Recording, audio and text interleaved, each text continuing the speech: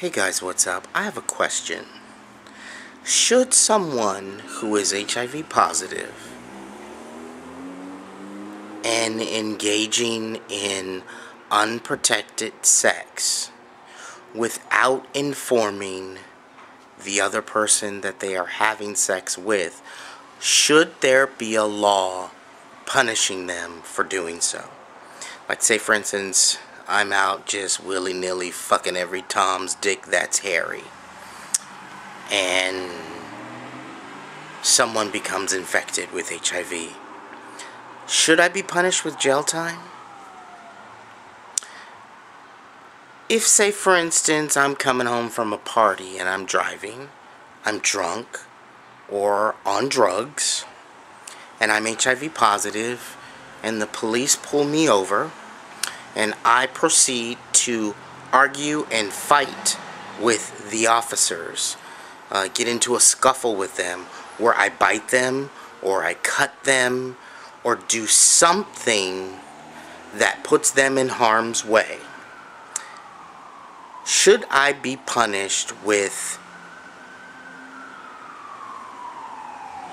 assault with a deadly weapon? Should there be some jail time for me? I mean, both answers for me are yes, the person should be punished. The person should be sent to jail. Yes, absolutely. You knowingly did this. Knowingly. So, why should you be excused for it?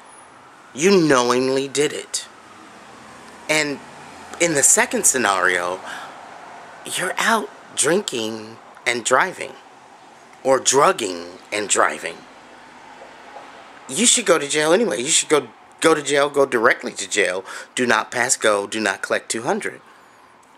You're going to jail. But since I'm HIV positive, does that excuse it? And are such laws, will such laws prevent people from getting tested for HIV?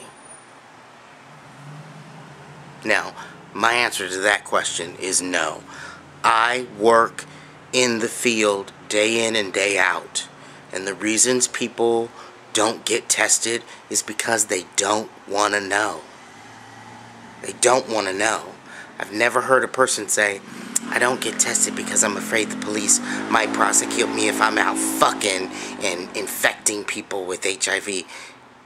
I've never heard that before. But if you guys want to answer these questions, please do so respectively and intelligently.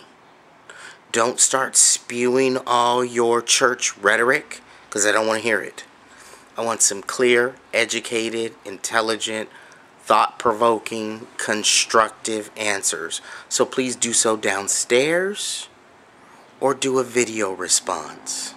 I'm anxious to know what you guys think, especially if you're HIV positive or have AIDS and are willing to uh, speak to this subject.